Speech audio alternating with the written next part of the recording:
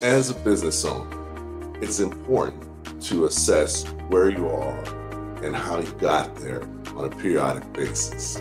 This helps you to stay on target and stay on track to achieve your overall goals. This course is to help you better assess where you are, think more clearly about where you're going, and put together a path and a strategy for getting there.